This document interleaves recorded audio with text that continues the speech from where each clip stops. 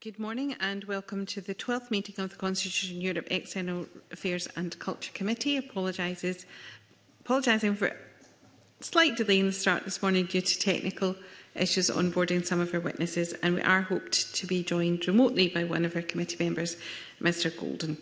Um, our first agenda item is a decision on taking business in private um, and the committee to take, content to take item three in private.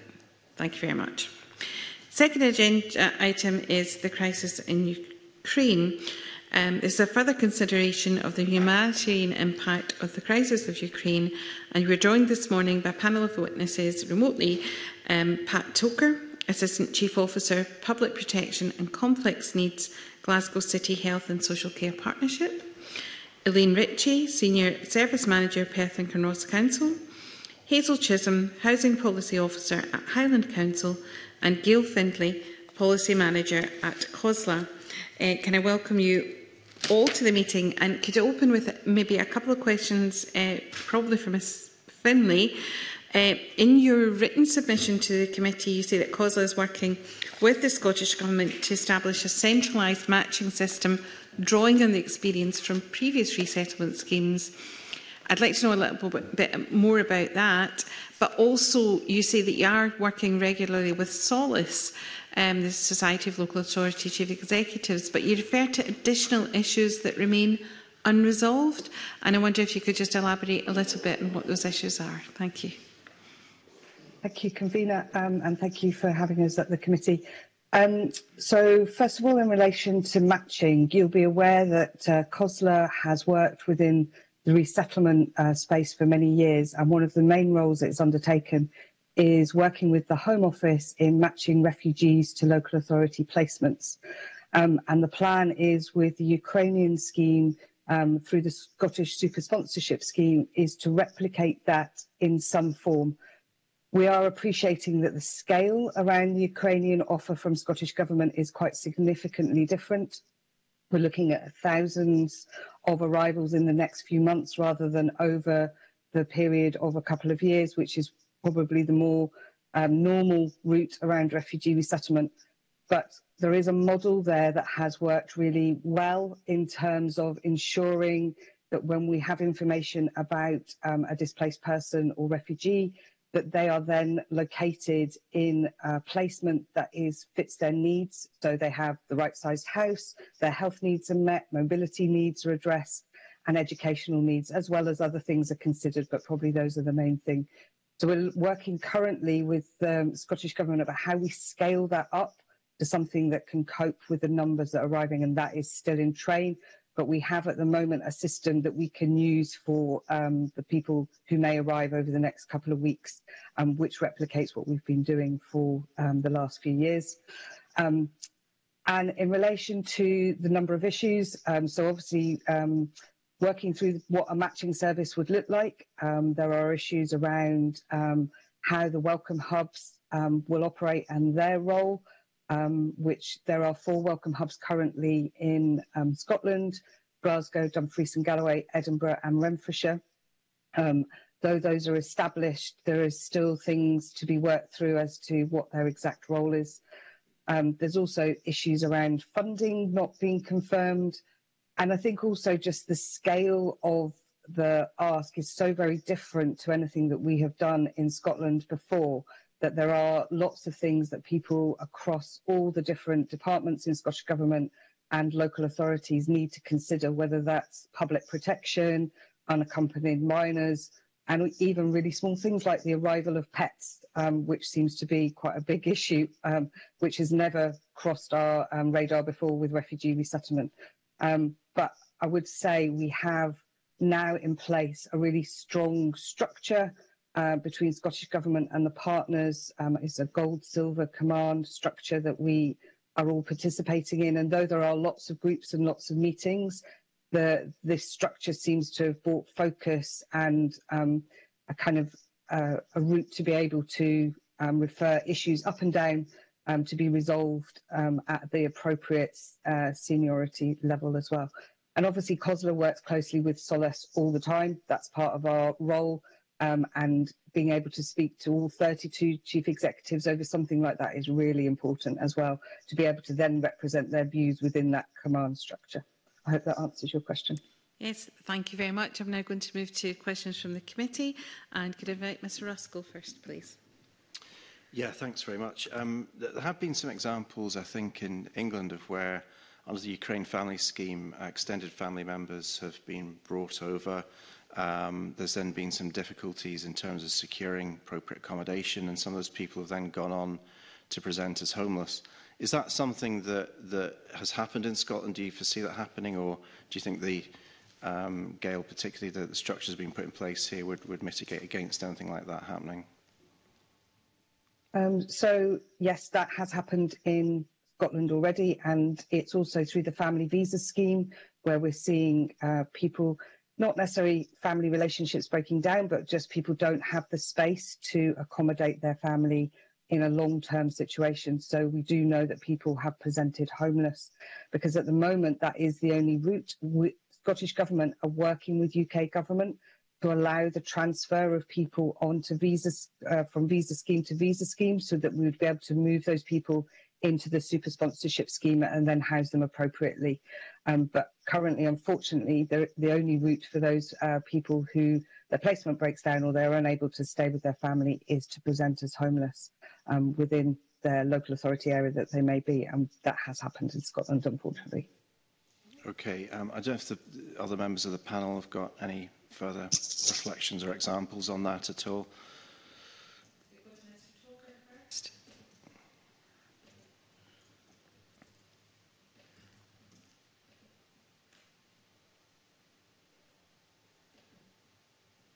Are we hearing from Mr Togher?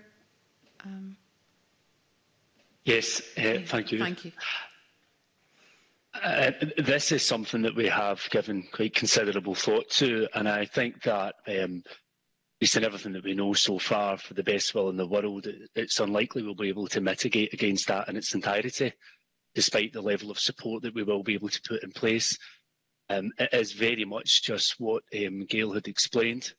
Um, it's not necessarily about necessarily about safeguarding issues. It's more just about the uh, capacity and space of some of the properties um, and for the, the, the best intentions um, don't uh, don't always materialise when people arrive um, and subsequently can end up coming through the homeless route. And as Gail has mentioned, that's our only route for that just now. But we will endeavour to support and to support sponsors wherever we possibly can to make sure that they, uh, that they feel supported in the process. But we are already starting to see some of that coming through. Um, Ms Ritchie?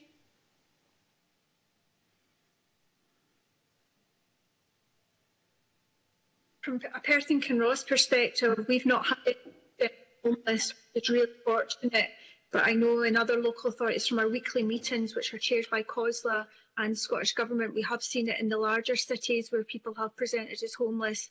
Um, however, I understand that they've been dealt with in accordance with our homeless legislation, which, as you know, is um, quite significant in, in, in Scotland. So they, they will be provided with appropriate accommodation with the wraparound support. Ms Chisholm?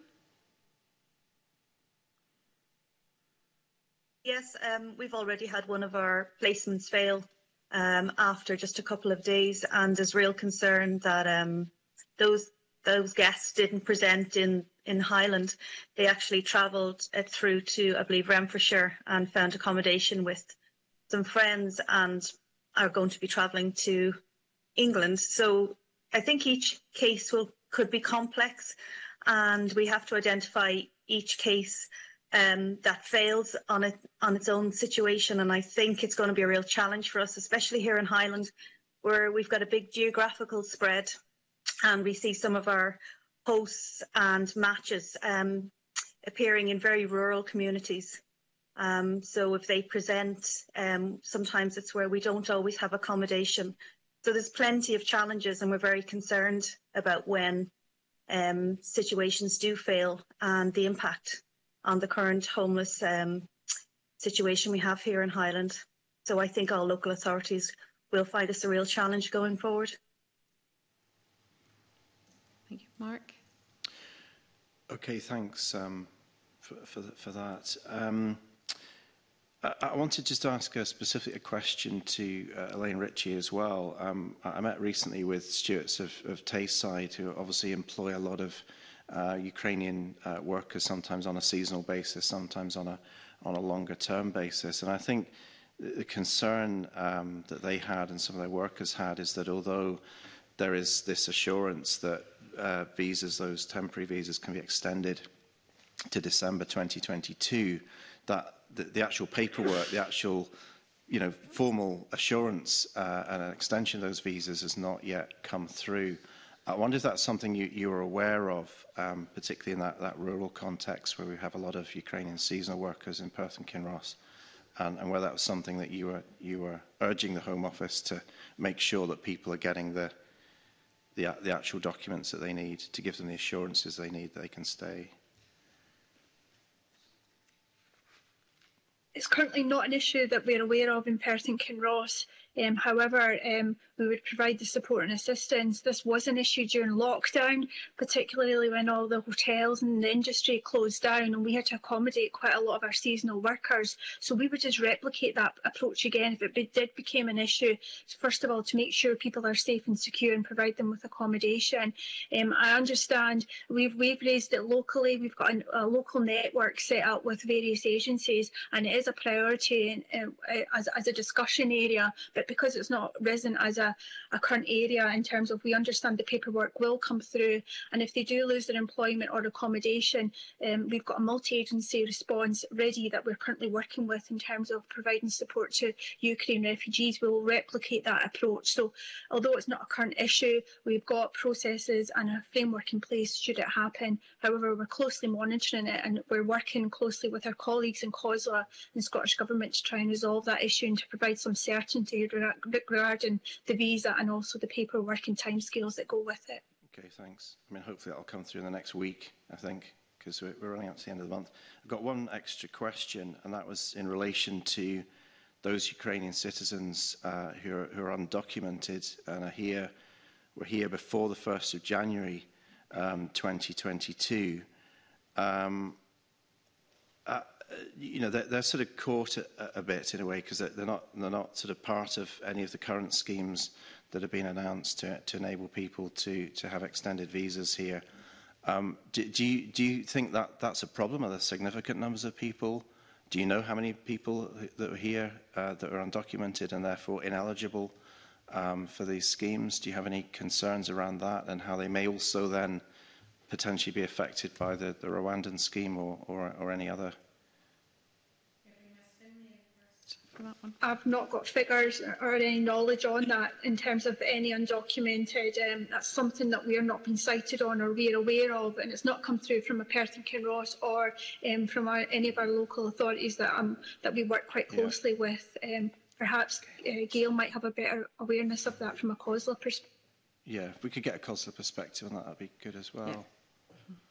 Yeah. Um, So, uh, Mr Ruskell, you'll be aware that obviously uh, visa and immigration is the domain of the Home Office, and we at COSLA, along with Scottish Government, are making representations about all the different visa questions, including the one that you asked previously about workers, also issues around students and people on visitors' visas as well. Um, I think what we do know in conversations with the Home Office is that they don't want Ukrainians to be pushed into an asylum route And there is a route at the moment where people can begin an application within the country um, to remain on the Ukraine visa. There is a uh, there is a period of time where obviously they will remain undocumented, um, but there is that route having been um, open to people to apply, which wasn't there in the beginning of the scheme. So that is a positive step forward. But I think there still needs to be more clarity from the Home Office around how they're going to support people in that situation. I think the, the other reassuring thing is that they are looking to make sure that Ukrainians don't represent into the asylum system because I think that that would obviously isn't a route that you would recommend anybody to go down if there is a, um, a humanitarian protection program that would help them. Um, I think the other thing is as well is Scottish Government have funded JustRight Scotland, provide legal advice to Ukrainians in Scotland, and that's a really welcome um, addition.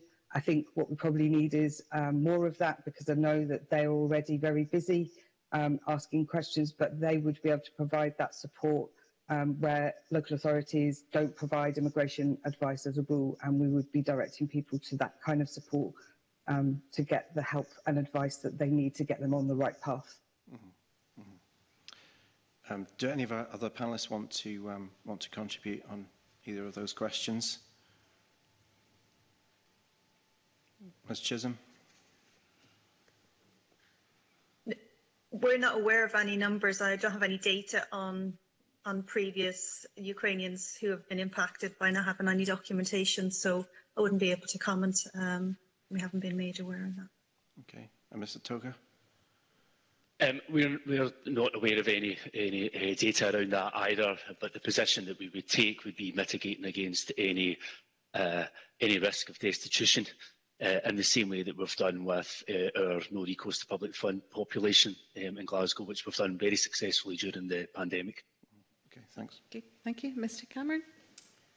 Thank you, Convener, and good morning to the panel. Um, just to follow up on the first question that was asked by Mark Ruskell about the difficulties uh, involving refugees who become homeless having arrived in Scotland. One of the reasons for that could be that the accommodation of their sponsor host uh, is unsuitable. Um, and I just wondered what work is being done uh, by local authorities to check for suitability of accommodation uh, prior to the arrival of, of refugees. Is, is that happening? Um, and you know, how easy is that to facilitate? Perhaps I could start with uh, Gail Findlay. Uh, thank you. Um, Mr. Cameron. Um, the as part of the Homes for Ukraine scheme, um, local authorities are required to undertake both a property check and an enhanced disclosure, disclosure check on the host and any over 16 year olds in the household. Uh, local authorities have started receiving the information about their hosts um, under the Homes for Ukraine scheme and therefore have under, started undertaking the checks. But you'll appreciate this is quite a large task. Um, and for some local authorities, there are challenges around um, staffing, being able to um, undertake those checks. We are working closely with Disclosure Scotland to make sure those checks are done quickly in terms of the um, disclosure, but there's still the property check that needs to happen as well. In terms of the super sponsorship scheme, it's slightly different because there will be a, um, a, number of properties that will be host properties in that, but we wouldn't be matching anybody until all those checks are um, taking place. So you have that um, mitigation and reassurance that any safeguarding concerns would be highlighted and the property wouldn't be used within the sponsorship scheme. However, the Homes for Ukraine, because it's a visa-driven system, obviously Ukrainians can arrive um, as soon as they, their visa is issued and the local authorities don't get the data on those uh, cases until the visa is issued. So it's a bit of a doing things as quickly as you can and uh, all three local authorities represented here will be able to um, describe their own processes locally and some of the challenges that they face in that.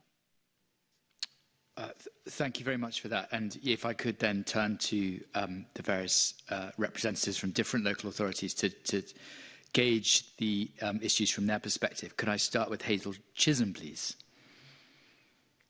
Yes, thank you. Um, we first got access to the data um, from Scottish Government on the 6th of April. Um, and to date, we have 72 properties registered and matched with Ukrainian families spread across Highland Council, everywhere from Skye to Wick to Inverness and Fort William. So the challenges are actually getting to these properties. Some of them are quite rural um, and having the officers to do so. I mean, we set up an officer to go out and check some properties, and unfortunately, with COVID still very much um, around, um, he came down with COVID and had to get one of his colleagues to step in, and, and that's just one of the challenges. Um, asking a team who are very much already quite busy to have 70 properties to go out and property check is, is quite a challenge. So staffing is, is a challenge for us. Um, but there, we, we, we, every day we give the property team um, an update on the properties that have come in the day before. They add them to their list. There's um, a property check sheet being sent through um, from the Scottish Government and uh, with an exhaustive check of what needs to be done. So they are, they have started, they are completing checks, um, and then we run the enhanced disclosure alongside. So we're trying to do both at the same time, and we prioritise either people who've said my guests have their visas and are travelling and know the arrival date.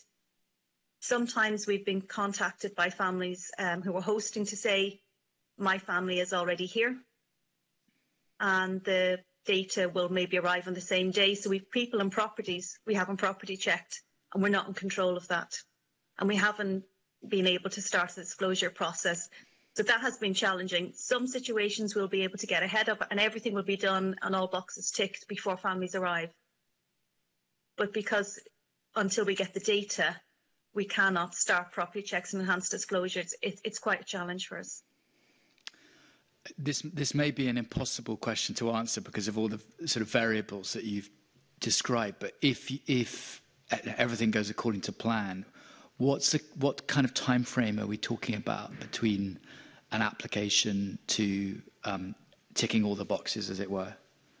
Or is, is that just is that just how long is a piece of string? It's a bit how long is a piece of string. Unfortunately, it's um, it depends on where the property is and how far somebody has to travel to get to it. So maybe a property quite, you know, in, in Inverness, which is quite close, if we can get the data in, say, on the Monday, we could probably get out to the, yeah, probably could be done within a week if we had the staff to go and do it. And I believe the enhanced disclosure checks have been expedited, so they're coming back very, very quickly. Um, but it's, I, I think it's still hard to predict. Um, in an ideal world, I think maybe a week if everything was in place. Um, but I wouldn't like to say that for sure. It's it's quite it's quite hard.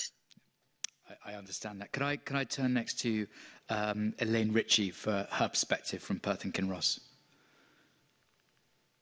Thank you, Mr Cameron. Yeah, we were quite proactive in terms of property checks before we got the data. Like um, on the 6th of April, we'd actually engaged with quite a lot of community groups, which were made up of hosts who had matches. So we'd went out and visited quite a lot of community groups and gave them quite a lot of advice and assistance regarding property checks because um, we manage I manage the housing service, so we know in terms of what um, adequate and safe and secure housing should look like. So we'd already done that and set up our own website, a web a dedicated web page on our uh, local authority um, website. So again, giving lots of information.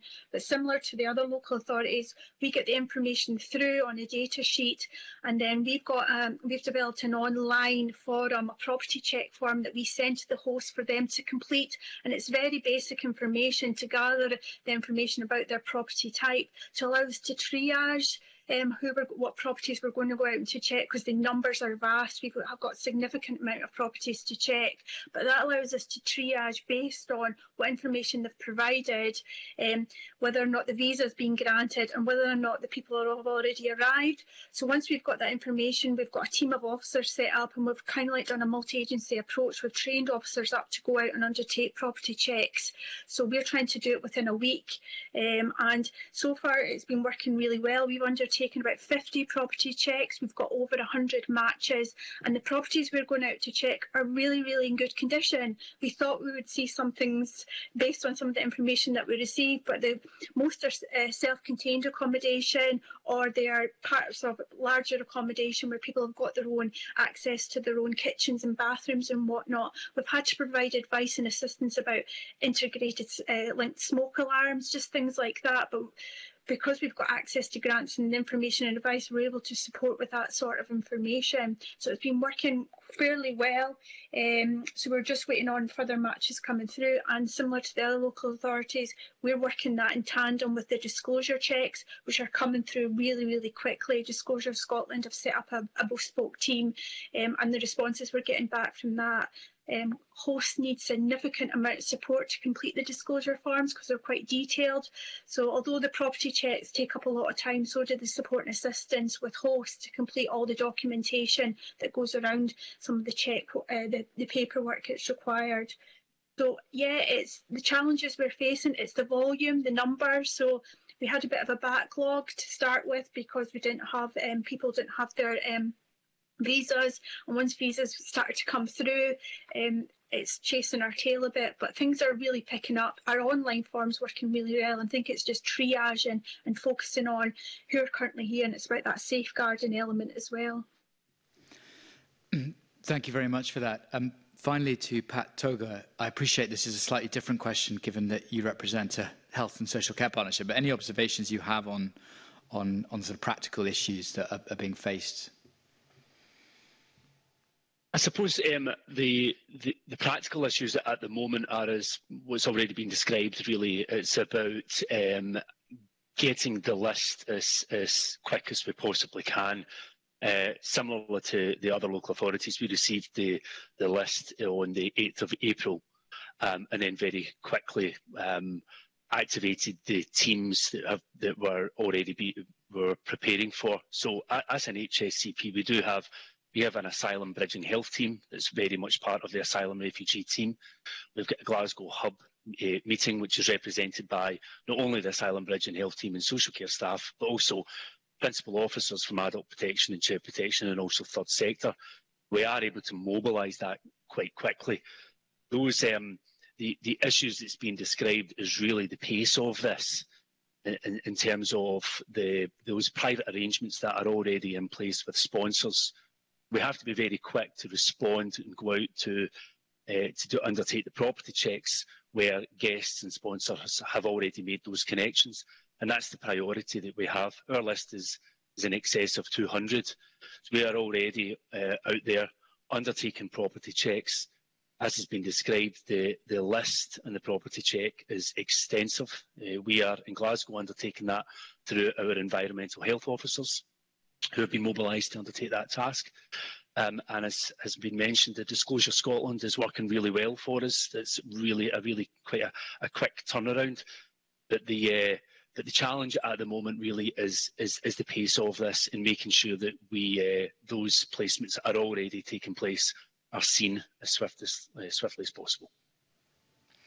Thank you for that. I just have one final question um, on um, a slightly different issue to, to Gail Finley. Um, and, and you've touched on this already, and that's the differences between um, the super sponsor scheme and the, um, the private individuals um, applying under the Homes for Ukraine uh, system. Um, we learned yesterday from the minister that I think um, there have been 570 visas under the Scottish Government super sponsor scheme and 1,050 visas under the private individual route. Um, I just, you, you touched on this uh, uh, in terms of housing, but in terms of other, are there any differences in terms of how that, that is managed? Any other differences in terms of how that's managed? I'd be interested to explore. Yeah, so I think it, it potentially is quite different because obviously when a person in Ukraine applies for the Scottish sponsorship scheme, they are put in the Scottish Government as their host. So they don't have an address to go to when they first arrive into the country. So um, we will be using um, the Welcome Hub and associated accommodation, depending on which port of entry they come in, um, to first initially triage people to make sure that they don't have any emergency needs, but also to complete forms around um, their needs for housing. So there is a stopgap which doesn't appear in the Homes for Ukraine scheme, in that people have a few days, will have a few days in accommodation while they are matched to a property. And that property portfolio will consist of social housing as well as hosting offers through the expressions of interest. And again, the difference there, as I mentioned, is that we do have that um, ability to uh, reject a hosting offer before somebody's matched into the placement. And so those safe, a lot of those safeguarding concerns we have around the Homes for Ukraine scheme are mitigated.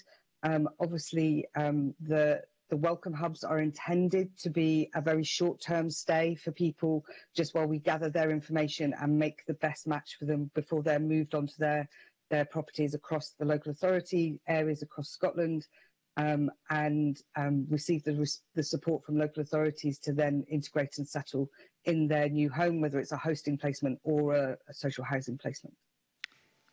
Thank you. Thank you, Convener. Thank you. Um, could I invite Dr Allan, please? Thank you, Convener. Um, uh, question, I suppose, firstly for, for Gail Finlay and, and talking about the, the response of, of local authorities to, to volunteers. You've, you've already explained something about that, that relationship and um, the work that local authorities are doing. Um, I just wonder if, if you're picking up a, a kind of hunger for information from the volunteers, um, from any source really, because I think the Home Office end has provided quite limited information acknowledgements, I suppose, of, of these, these offers of help. Um, clearly, local authorities are, are doing their best to get round all these people and check houses, but is there a bit of a frustration at, at, at the volunteer end, the volunteer host end, that they don't seem to have heard much more back from the Home Office? Certainly some people have been in touch uh, to put that point to me. Yes, yeah, so thanks, Dr Allen. Um, I think there's quite a lot of confusion, if I'm honest, because actually the Home Office have a very small role in this whole process, and it's actually the Department of Levelling Up and Housing and Communities that are running the scheme. So the, the Home Office are in charge of the visas, and DLUHC are in charge of the scheme, as it were. Um, so I think there is frustration because people, that's, you know, a nuance that if you're new to all of this, you may not understand. And most hosts have never engaged in any of this kind of work before. But also, I think there is very little information in general for lots of people because we're working at pace, almost retrofitting systems to a scheme that's already been established. So in Scotland, in terms of hosting, um, there are several um, kind of routes where we can direct people to for more general um, hosting support. So Scottish Refugee Council um, in particular are funded to support hosts and do some kind of initial work with them about understanding what hosting is and what you might have to do and some of the experiences that uh, their families may um, encounter when they arrive. Um, but also, as uh, Elaine mentioned, that obviously local authorities are talking to hosts and trying to explain what might be expected of them. Hosting isn't something that has happened routinely in, well, the UK, if I'm honest. Um, there are small pockets of it, particularly around asylum, where asylum seekers have um, lost their accommodation because, they're, um, because they, their claim is still going through a process but has been rejected. Um, and so uh, the experience of hosting isn't a widely known um, facet within this work. And so I think it's a bit of a, um, you know, learning curve for a lot of people around this.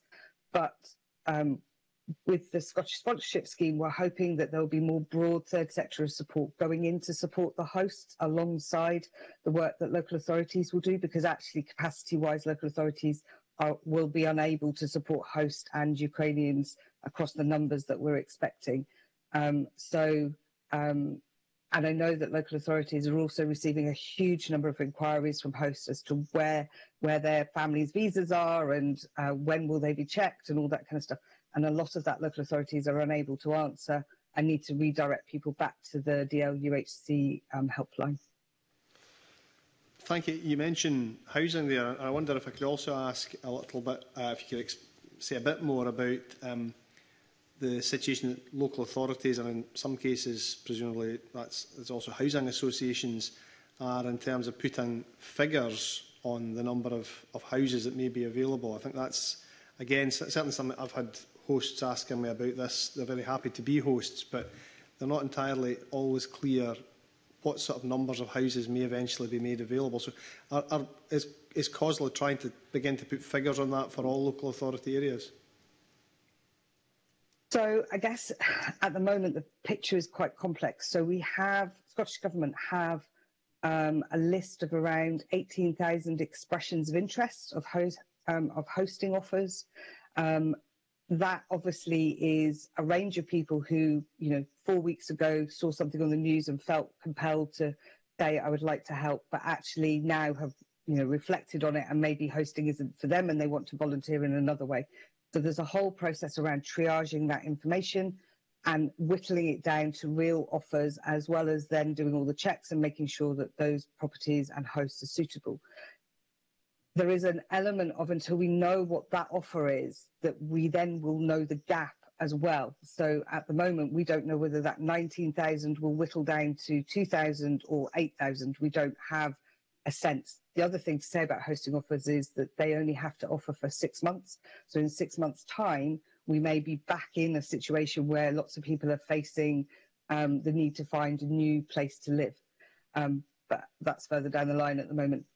Local authorities have, all 32 local authorities have committed to providing social housing where they can, but you'll be aware that local authorities are under immense pressure for their homelessness list themselves, but also under other humanitarian protection schemes.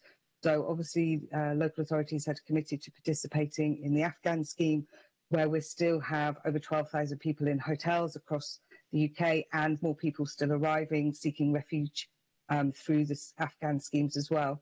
There is also, um, you may be aware that the um, UK government have just informed local authorities that they will be widening dispersal of asylum across all local authority areas. And so that will be a further demand on homelessness um, routes as well once people have a positive decision. So um, at this time, we're unable to say there will be X number of social housing. And yes, you're absolutely correct. That does take in a mixture of RSL, uh, registered social landlords, as well as um, local authorities. But we do know that local authorities will and are able to commit properties. I think the other thing is that whilst we haven't got the arrivals through the Scottish sponsorship scheme, so your colleague just mentioned there that had been a number of visas, but actually the number of people arriving into Scotland on the sponsorship scheme is very, very small. Um, and therefore, until the, that demand rises, local authorities will be hesitant to put properties in because they could use it for something else and they'll bring another property on, you know, at the end, other end of the scheme. So I, I'm under no doubt that local authorities will step up, but they're not going to be able to provide the numbers that we're going to see coming through um, the scheme, that we just don't have that number of properties in social housing. Thank you. And can I ask uh, Hazel Chisholm, um, you mentioned some of the challenges that rural local authorities face in terms of assessing uh, the houses that have been volunteered and so on. Um, but can I ask if you can maybe say a bit more about what kind of work is being done or needs to be done in terms of planning the support that will be needed for the families themselves once they arrive and the challenges that rural areas might face in doing that or, or how you're approaching that? Yes, well, thank you. What we're doing is we're reaching out through our our the charities and a lot of volunteer bodies who are making themselves very uh, well known to us, and we already work with um, well established um, volunteering organisations in throughout Highland, and there's a real swell of goodwill towards supporting the humanitarian effort. Um, so people who can't host are very, very keen to get involved. I've started working with our ward managers and they're identifying groups and, and committees within their, particularly in rural communities, who are very willing to set up welcome events and um, provide kind of mini welcome hubs and working to support areas where we know we have families coming and I think that's going to work very well. We have a strategy group for Ukraine, and we're going to have a subgroup of that, which is very much tied in with our third sector organisations and volunteering. So we can really pull together the community effort there. So that's what we're busy doing at the moment because I think there's a lot of really goodwill in Highland to support the Ukrainians um, wanting to, and they want to make it a success for people. I think I think um, what we don't want is people going to rural communities particularly and finding there's that lack of support and maybe then deciding they need to go somewhere else or they need to present as homeless in you know cities like Inverness or whatever like that. So um, it's very much working with our third sector and tapping into the voluntary offers of support and organizations I I mean I'm I'm very we, we're very active our team on on looking at Facebook these days and the amount of groups that have sprung up on Facebook, actively helping to match people who have offered their homes for um, as hosts but haven't made a match. And there's lots of really good work going on there. Um, and a lot of church want church um, churches want to provide support and hubs So we're really reaching out to local community groups, and I think that will be invaluable going forward uh, to make a success of, of the resettlement for Ukrainians in Highland. Thank you, Convener. Thank you. Uh, Ms Minto, did you want to come in? Thank you, Convener, and thank you and good morning, panel. Um, really following on from Dr Allen's first question, um, I represent Argyll and Butte um, and the last couple of weeks um, been out and about the constituency and I'm, I'm interested to, we've, we've heard a lot about um, individuals um, offering their accommodation, but I'm interested to know what work you're doing with businesses because a, a number of um, hospitality businesses have um, written to me and have said that they have accommodation that they would love to welcome um, Ukrainians to, and also um, they can also offer them work. So I'm interested to know what the local authorities have been doing to connect with businesses as well that can offer um, a, a warm welcome. So I don't know if I start with Gail. Thank you, um, Ms Minto. Um, so as part of the scheme currently, um, businesses and community groups are unable to offer its individual private um, hosts only. Um, and that applies to both the Scottish sponsorship scheme and for the um, Homes for Ukraine. Um, and I think there are concerns, if I'm honest, about people being uh, placed in an employment um, accommodation and then there's an expectation that they will work for their rent. Now, some Ukrainians, when they're here, may choose to do that, and that would be absolutely fine um, as long as the conditions and pay were acceptable. Um, but I think where there are there is quite a lot of concern about making sure that people aren't exploited um, and that um, there isn't an expectation. So there's no expectation when a Ukrainian lives um, with a host that they will pay rent. Um, and therefore, we wouldn't expect the same in businesses. So at the moment, that route isn't allowed. I know the UK government is um, looking at how they could work with businesses and probably more um, importantly with community groups and organisations, um, say for example like YMCA, who may be able to offer properties um, where, but I think the concerns around exploitation and modern slavery are probably overriding those um, routes at the moment. And I think um, whilst um, we will probably need to be looking at every possible option that may not be uh, top priority, if that kind of makes sense in terms of just those concerns. However, I think Scottish Government, um, you know, will look to be engaging with reputable employers um, and already have in terms of people's employment opportunities. And I think that may be once people are, have arrived in the country, that might be an option that is given to people as their next kind of phase, because obviously people will have three years to remain. And as I said before, their initial accommodation, if it's with a host, is only for six months. So um, I think it's what are the next steps that need to be explored. That's very helpful. Thank you very much, um, Gail. Um, I wonder if um, any of the local authority representatives have anything to add to that. Ms Chisholm?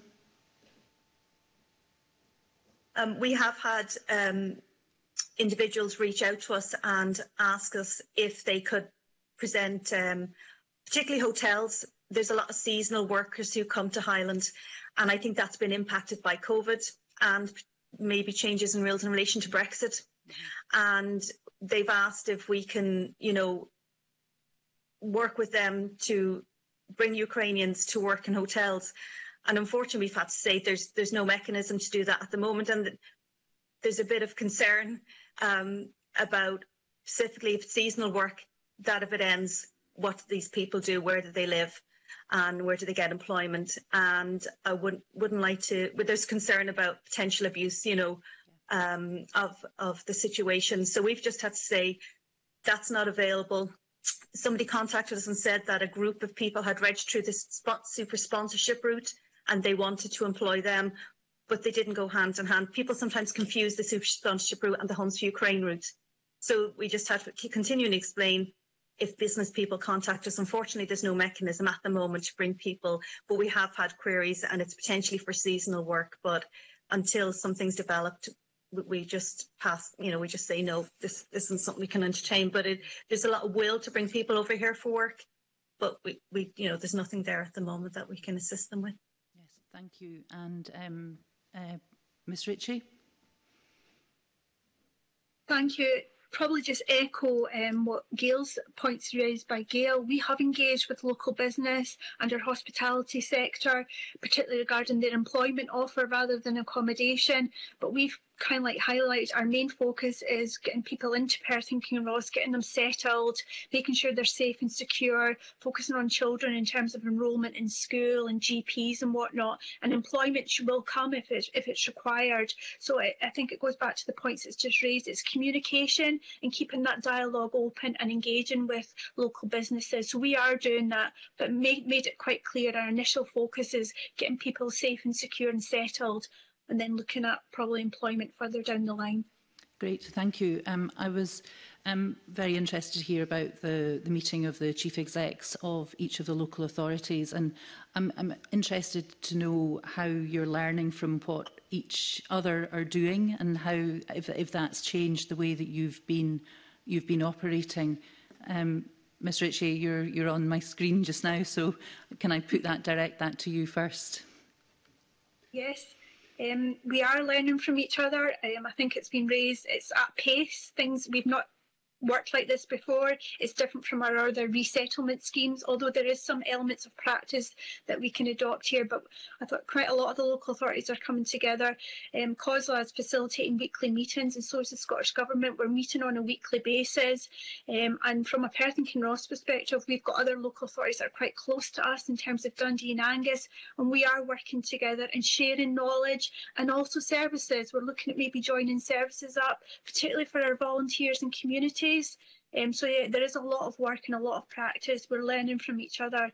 So a lot of collaboration going on between lo local authorities. Great, thank you. And um, Ms Chisholm, I think um, you, you, you've already talked about working with um, other, with third sector organisations, and I'm sure there was a lot of learning from um, the, the COVID recovery resilience groups that were probably set up across Scotland.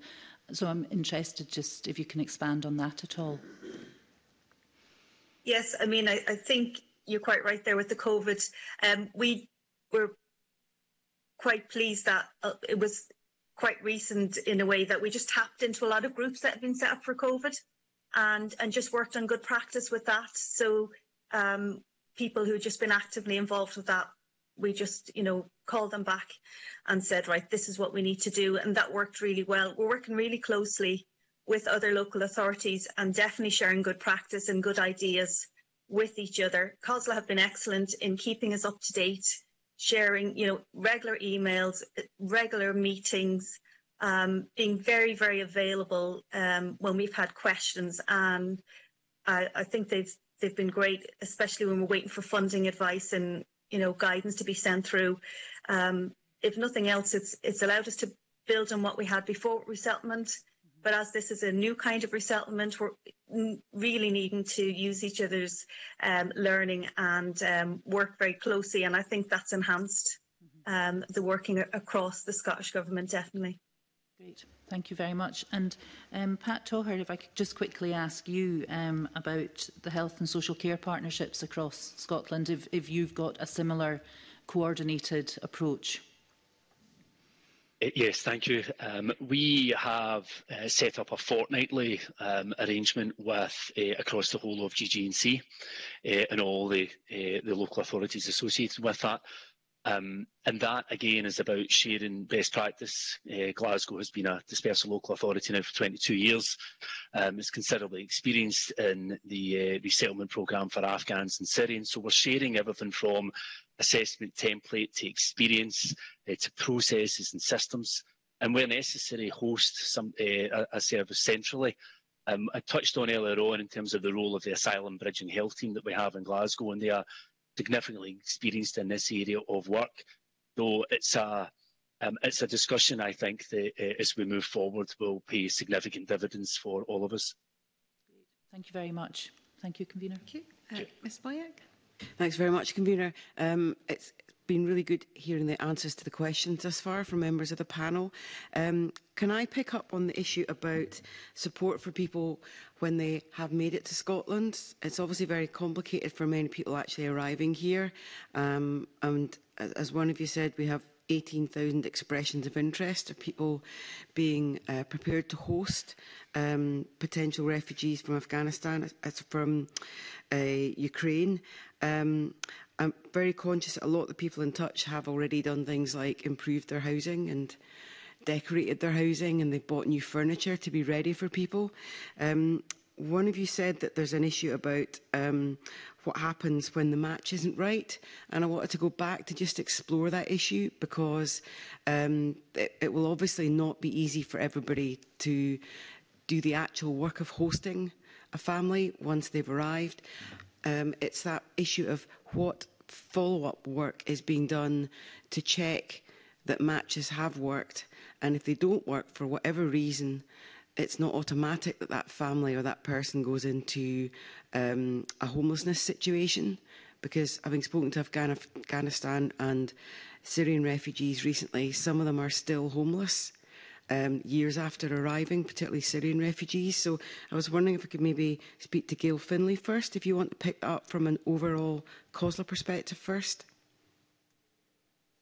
So obviously the, the checks that uh, local authorities are undertaking will um, hopefully you know, mitigate um, any safeguarding concerns. But obviously, as you uh, reflected there, that hosting perhaps isn't going to work for everybody because hosting strangers in your house for a period of time can be extremely difficult. Um, but it could be something as simple that the Ukrainian family arrive, the host has pets and they're allergic to pets and therefore can't stay. You know, it's like it could be really basic things rather than relationship break, breakdown. So what we're hoping is that with agreement from UK government, and it is dependent on this, is that where a relationship or a hosting arrangement isn't able to continue, that people will be able to remain within uh, the Scottish sponsorship scheme or, and be rematched with another family or another tenancy if it was a social housing, so that they wouldn't drop out of that system. But at the moment, we're unable to do that because the UK government haven't agreed it. We because it's a swapping of host and a swapping of visa schemes that has to be agreed. It seems that the conversations are moving in the right direction and we're hoping that we will see resolution to that fairly soon and that people will be able to move back into the sponsorship scheme, whichever route they've come in, so that they're not being put into the homeless route, because none of us feel that that is the appropriate route for people to be going into um, when there is a scheme established where there will be support from local authorities, third sector and community groups for people. Uh, that's really useful to get feedback on, and I, th I think that is something that needs to happen because, um, as you say, it's it's not it's not necessarily about people falling out. It, just a reality check. It could be food that's eaten, somebody's vegan, all those kind of things um, that can't be predicted necessarily before people arrive. The other thing I wanted to ask about was um, that issue of safeguarding. Um, safeguarding not just for an initial matching process, but for follow-ups, what support will be there for families? And I'm particularly thinking about people who have um, come from Ukraine who've experienced sexual abuse or who've had connectivity with traffickers because of the, the length of time it's taken for them actually get to safety. Um, what follow-up work is being done to provide that support? It could be mental health support as well as um, making sure that the checks are actually carried out not just once by Disclosure Scotland, but there's a follow-up process for people? Yeah. And again, if you so, want to keep going um, on that one, Gail oh, Finlay. Sorry, Ms Berger, I didn't mean to talk across you. Um, there, um, so local authorities are really experienced um, at working with refugees and have systems. They will be different across all 32 local authority um, areas and health boards, but they do have systems in supporting people who've experienced trauma, um, sexual exploitation, trafficking. Um, and so we'll be tapping into those partnerships at a local level. Um, local authorities and their partners will be taking different approaches, but um, as part of the scheme, um, the local authorities are expected to provide ongoing integration support. And obviously, dealing with some of those really difficult issues that you've mentioned will form part of that and will be priority for local authorities. In addition, Scottish Government have set up um, some specific um, work around trauma-informed practice and also a trafficking group as well to make sure that those supports are have a national reach because you'll be aware that some services obviously tend to be centred around um, Edinburgh and Glasgow just because the demand is better, uh, is stronger there.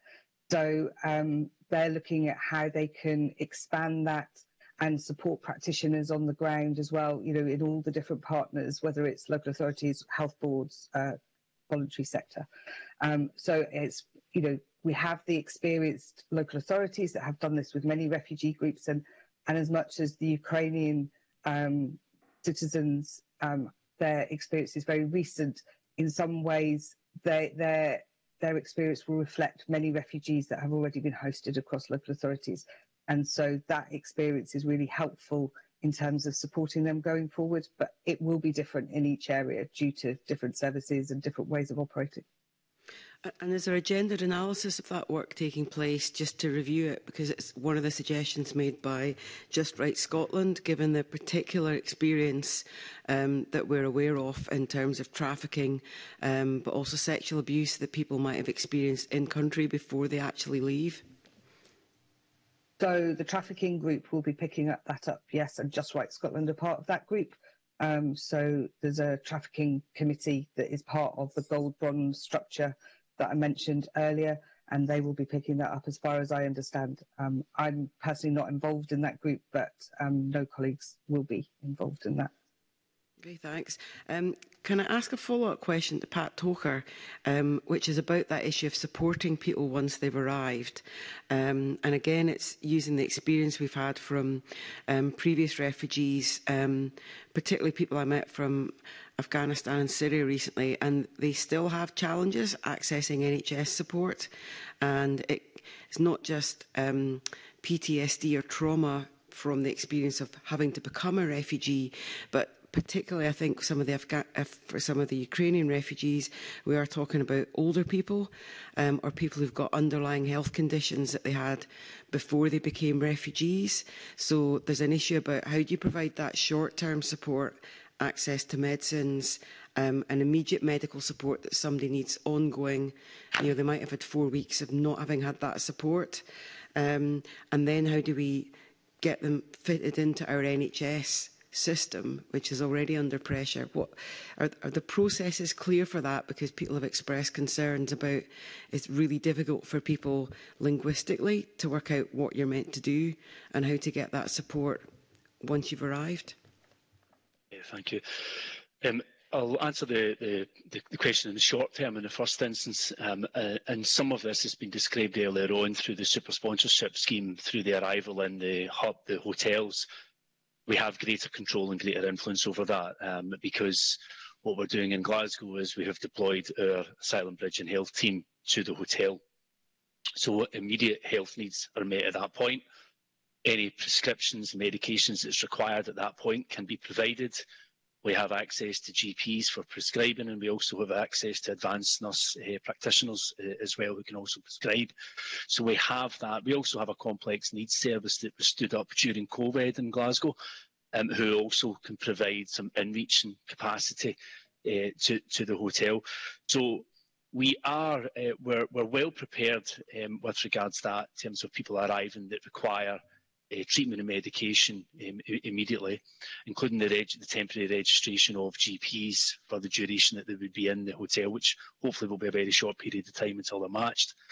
In terms of the longer term, that will come down to the uh, how well we integrate uh, people within the community.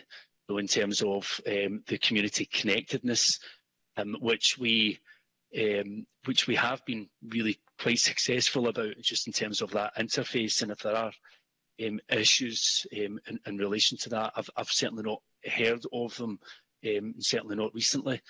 Um, but this is something that we will continue to, to check in, not only with asylum, uh, with Syrians and Afghans, but also um, with Ukrainians as they arrive as, uh, by way of a follow-up to make sure that the experience is warm and welcoming and this is a established integrated process as much as possible.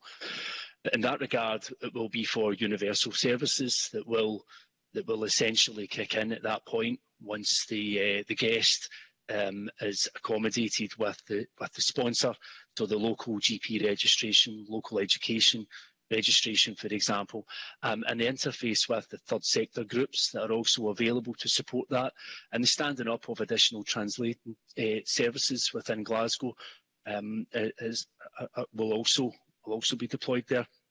So I, I think that we're certainly prepared in the in the short term in terms of gearing that up and drawing on our experience. And in the longer term, it's about the connectedness to the, the localities. But there certainly will undoubtedly be a challenge just given the scale of what it is that we anticipate here. Yeah, thanks for that. Um, I suppose the other issue is, is continuing to monitor it so that you've got your initial wave of people coming, but that actually uh, there will be ongoing issues that will potentially emerge afterwards. Things like PTSD might not be immediately available, and that, that could need support both for a host and for the family that have come to Scotland. So I suppose it's keeping an eye on that. Have you got systems in place to do that? Yes, uh, our our experiences, um, and, I'm, and I'm glad that you, you, you picked that point up there. Um, our experience so far is that this is not immediately apparent, and there is a risk to jump in with that type and that level of support. Been discussed earlier on, the absolute priority that we know from experience is that people want to feel settled and they want to feel secure and they want their essential needs met immediately, and that's what we're good at doing. Um, then acknowledging the, uh, the, the, the PTSD can uh, can impact later on, um, and getting the timing of that of, of that uh, right is, is absolutely critical. And we do have services that are available um, that have very much most of our services in Glasgow are trauma informed. The uh, and the services through the asylum team and the bridge and health team are, are, are there to to uh, to signpost anywhere else to any of the other services that's required as and when. Thanks very much. That's really useful. And can I ask a final question to Elaine Ritchie and Hazel Chisholm, which is about the on-the-ground challenge um, that you've talked about, whether it's going out to people's houses or wherever. But I'm thinking particularly about issues about translation. Um, what support are you beginning to put in place? Because just translating everything um, is going to be quite a challenge, I'm guessing, going from zero to suddenly having that capacity.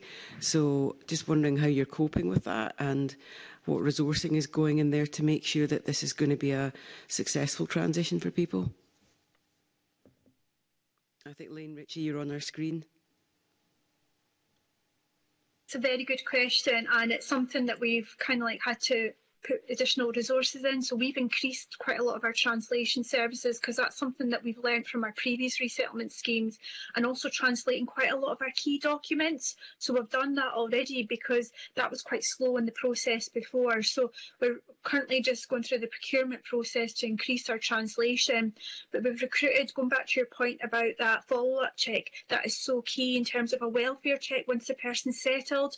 And what we're doing is making sure we've got staff that have got access access to translation services. So there's devices that we've bought in terms of being able to translate when they're actually on the ground with the individual, but we're also looking for additional services to come in, particularly through our, the Scottish Refugee Council, and they've recruited people that speak Ukrainian and Russian um, to support us with that as well. So it's something that we've identified as a key key area and key priority is to make sure we take down that language barrier straight away to allow people to feel safe and also to ask for what support and assistance they need. So yes, definitely we've enhanced our translation services and following up with welfare checks as well. Thanks for that. And in Hazel Chisholm, I thought the point that Pat Togher made that, that people may not initially say exactly what their circumstances are. So it's that how you connect with them afterwards and having that translation capacity, how you moving ahead with that? That's presumably going to be quite a challenge. Yes, definitely. Um, and I know it was, it was suggested and it was something we were going to do that with all our staff throughout Highland. And we know we have some Ukrainians already here in Highland. We're going to reach out and ask if, if people were willing to step forward as translators or be able to help if there was families in their area. Um, yes, we, we know that um, interpretation has been um, and finding people in Highland. You know, we've we struggled sometimes with our Afghan resettlement um, to to find a translator um, locally. Not so much with our Syrian, but with our Afghan one. So um, we are um, also translating our documents. we'll be working with the Scottish Refugee Council to access some of the services they provided. Um, and definitely once we come to the welfare checks, I don't think we, we're at that stage yet. We're very much at the beginning of the checks and we'll be identifying um, staff being able to access, even if it's on a, a tablet or handheld device in interpretation. I believe the feedback coming to us is young people um, from Ukraine tend to speak um, good, good enough English, older people not so much, and children not so much. So it just depends on the makeup of the household. So if you've got somebody maybe in their 20s or 30s, they probably will be able to communicate through English, but we can't rely on that either we're definitely looking to upskill our staff and um, devices to be able to assist us with interpretation. That's very helpful. Thanks very much. Thank you. I'm going to invite Mr Golden, who's joining us remotely. Uh, thank you, convener. I've got uh, one specific question uh, for the panel, and I'll probably start with Gail on that one, and then one more general question. Um, on the specific question, and I think Gail mentioned earlier in the proceedings uh, around refugee pets.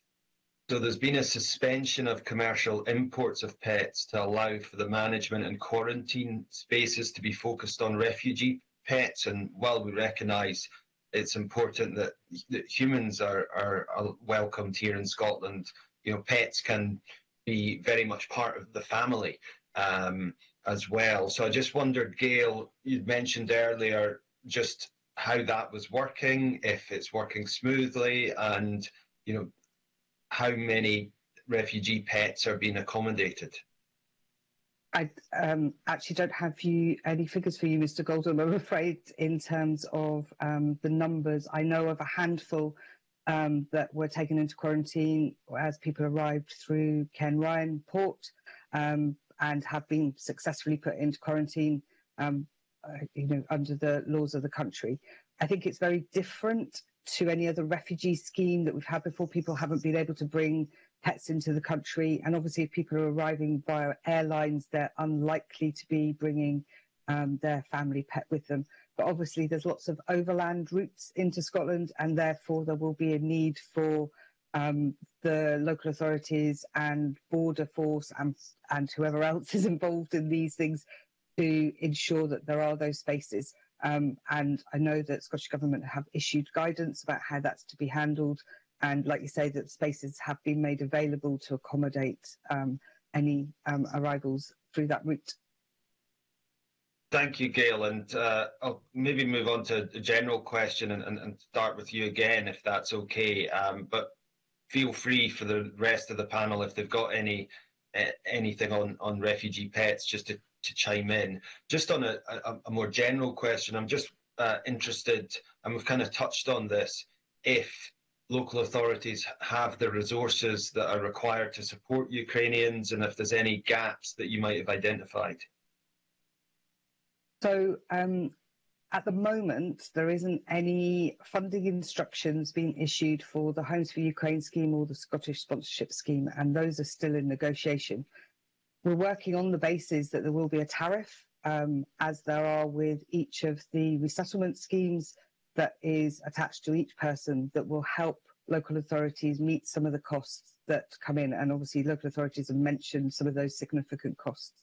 I think one of the, there are a couple of areas where it is quite different. So at the moment, there isn't any health or um, additional health costs, and normally there is health costs attached. And obviously, that's for our health colleagues to to be um, arguing for. But obviously, that is a concern to local authorities as well, because if there isn't the health services in a in an area, they can't successfully support people to integrate. So that is an area of concern.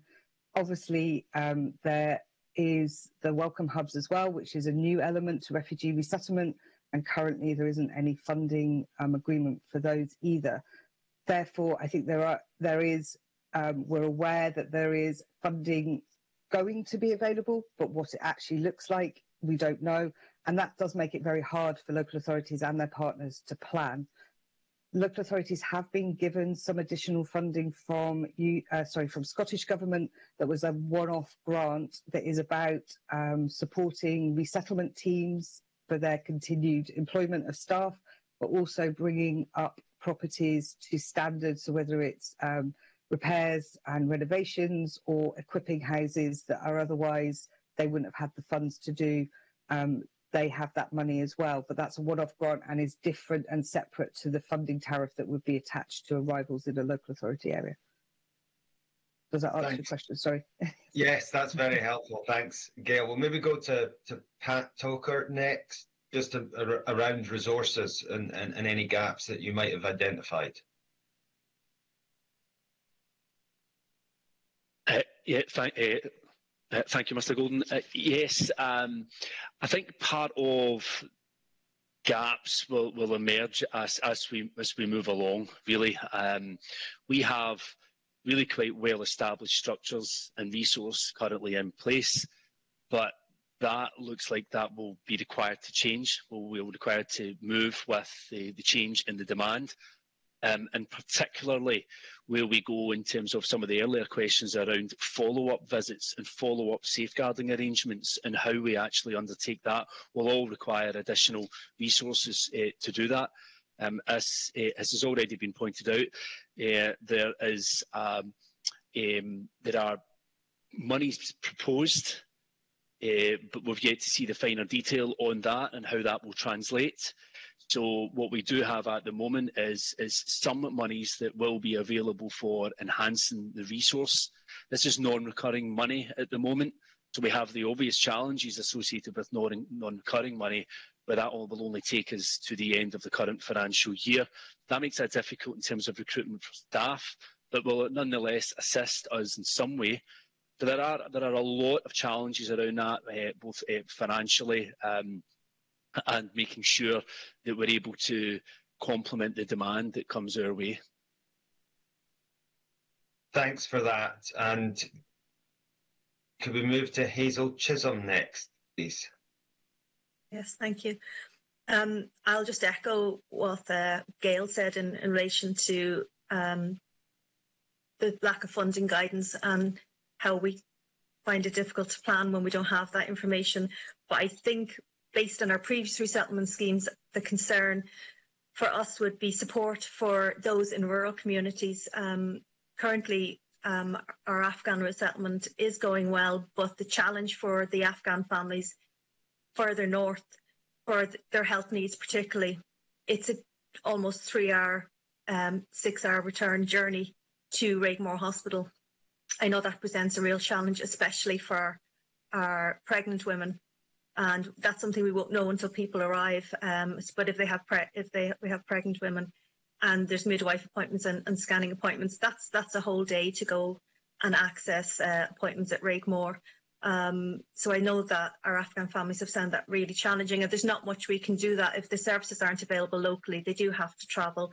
It's a cost to them, and we're not aware whether the funding will support that cost.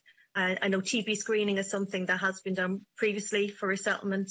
Um, that may be needed um, for us, particularly for children. Sometimes we find that quite challenging and services are not always available to do that. We're still catching up on some of our TB screening from our previous Afghan resettlement schemes. So I think health and funding for health and um, particularly for that in our rural communities is proving a challenge when we're so geographically spread up here in Highland. Um, but our strategy group are meeting regularly and we're doing all we can to put contingencies in place to address the, the, the, the challenges that will be coming towards us um, based on our experiences through previous resettlement. Thanks for that. That's very helpful. Um, Elaine Ritchie, is it a similar case at Perth and Kinross? Yeah, Yes, very similar to what Gail and Hazel's just outlined. Lack of clarification on funding makes planning really difficult. However, Scottish Government did identify the 11 million, which has been shared with the 32 local authorities. So we've used that pot of money to put fixed term posts in because we've been using resources from our current services, which are heavily stretched, particularly our homeless services, our welfare rights teams. So that money, the one off grant, was really welcomed. But yes, um, we need clarification on the funding to allow us to resource it um, and provide that kind of like welfare check, the safeguarding and follow up, but also to support communities because there's a lots of goodwill out there. And if we don't support those communities, they'll be looking, they will, it will fall on local authorities to pick that up. So it's really important that we get the support out into communities. Thank you for that. Thank you, panel, and back to you, convener. Thank you very much. I'm looking to see if there are any further questions from committee. Um, I wonder if I could ask um, a, a question about a, a group that already experiences a significant amount of discrimination in the travelling community. We know that there's a large population of Romani travellers uh, in the Ukrainian area um, and proportionally we should be seeing um, them coming through on on the visa programs but I just wondered if if the local authorities had had their specialist services in this area ready to engage with families that are coming from that community. Uh, maybe go to um, Gail first, please. Uh, thank you, Convener. Um, it's an issue that we have been made aware of more broadly across the UK. And I think one of the challenges the travelling community are facing is that the accommodation that they can provide isn't considered appropriate in terms of the Homes for Ukraine visa scheme. So um, in COSLA, actually within the same team that I work, we have um, a policy manager and officer that work around this. So we are working with uh, the travelling community to ensure that if there are any issues that we are raising, However, at the moment, it doesn't seem to be a significant issue in Scotland, though I don't doubt that they, that may change. And therefore, we're making sure that those channels of communication for them to report into us so we can raise in terms of a policy issue. Because if obviously family, friends, etc., in the Ukraine want to come to be with their uh, their friends and family here, whether they're travelling community or not, that should be um, you know facilitated in whatever way we can. Thank you. If I could maybe ask Pat Toker comment. Yep, thank you.